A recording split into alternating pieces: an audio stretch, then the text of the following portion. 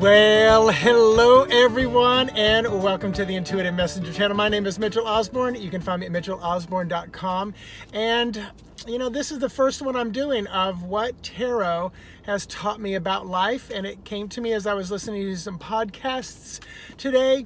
And, you know, I was driving to work and I thought, I'm going to do this. We'll see how long it lasts. But I've got my, my, my mini uh, deck in my hand, and I'm going to pull a card and just kind of you know, elaborate, ruminate on what tarot has taught me because it, there's so many moments that I look to when I'm in situations and I think, you know, this is like a tarot card situation. So shuffling and just randomly pulling Ace of Wands. So for me, the Ace of Wands, I'm going to say this is down to intention. And if I've learned anything, and if, this is something I've always said, if, if people ever ask me, what would you teach your younger self? What would you want to see taught to children in school? And that is the power of your thought, the power of intention, the power of your mind.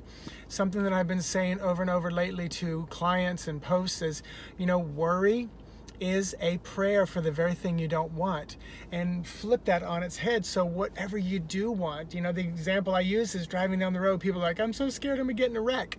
That's worry. And you're you're inviting in a wreck or tragedy. And just as you're driving think what is the quickest and safest way for me to get to work?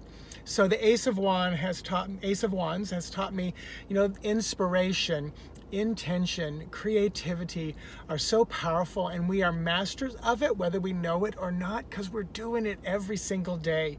So I would say use that Ace of Wands energy and idea to reach up out of the heaven and grab that wand that's presented to you, or be that hand, be that spark of God's spirit source energy to just create whatever it is you want to create. So there's a little of what tarot has taught me about life.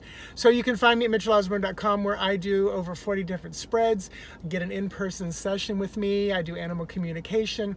I'm a mindfulness facilitator, so if you ever want to work on that as well, we could do a mindfulness session and I could teach you and train you how to set up your own mindfulness practice, which will help in so many areas of your life.